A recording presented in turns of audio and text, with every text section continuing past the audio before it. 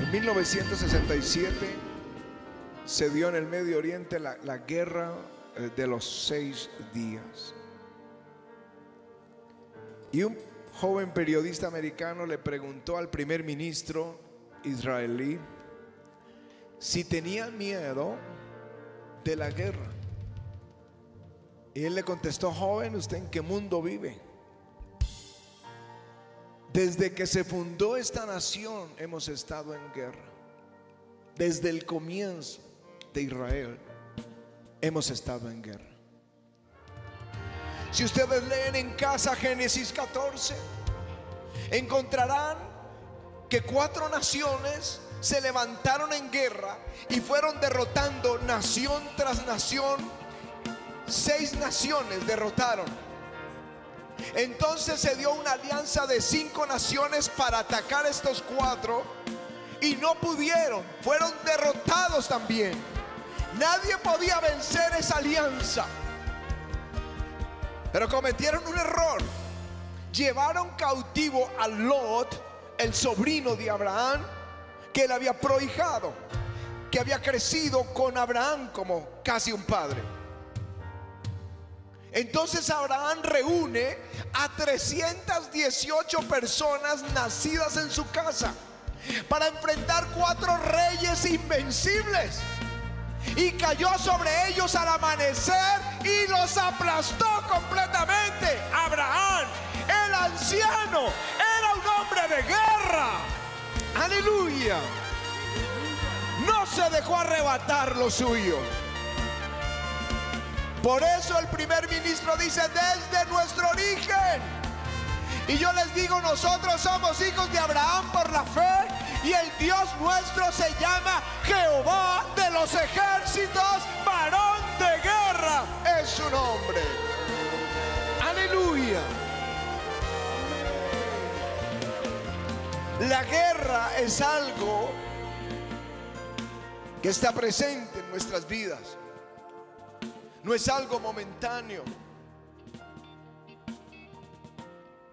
Es mejor que se acostumbren a vivir con un camuflado espiritual. Que se acostumbre el creyente y sus familias a tener la armadura de Dios. Porque las conquistas que ustedes van a tener son gigantescas. Pero las tienen que tomar en guerra. Aleluya.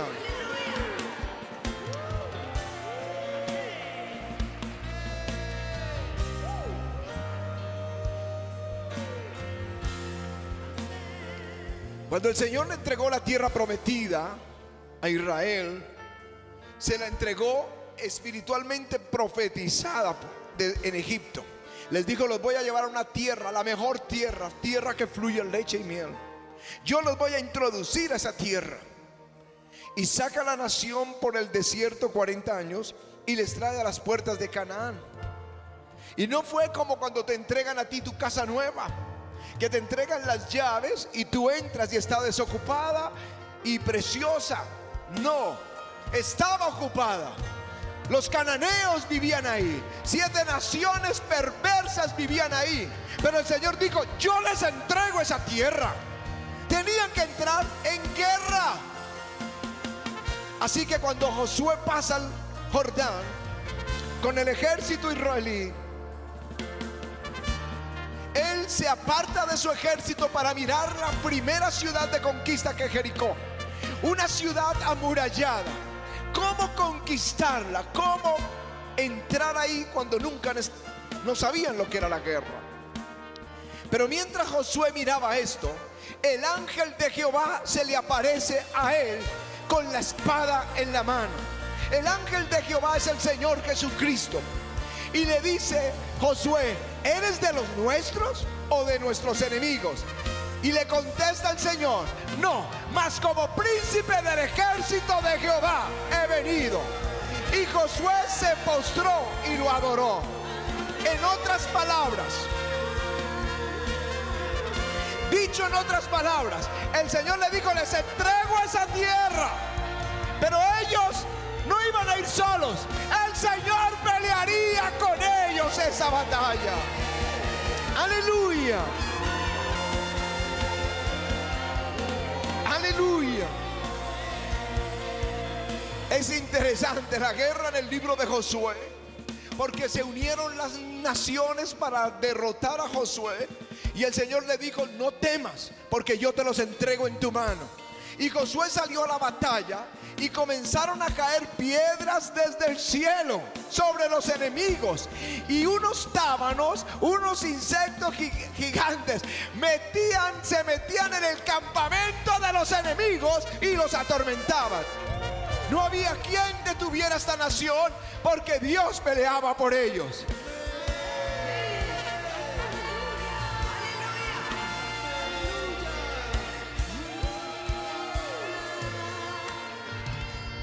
Derrotaron esas naciones, tomaron los cinco reyes, los botaron al suelo. Josué le dijo a los príncipes, vengan acá, pongan su pie sobre el cuello de estos reyes. Y cuando lo hicieron dijo, así hará Jehová a todos vuestros enemigos contra los cuales peleáis. Aleluya.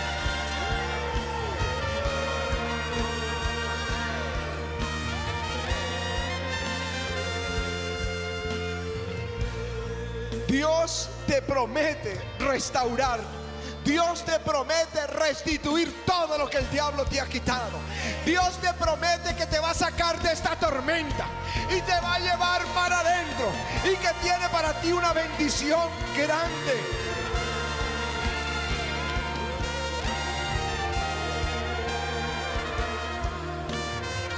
Pero así como te así como te lo promete, te lo advierte hoy. El reino de los cielos sufre violencia y los violentos lo arrebatan. Aleluya.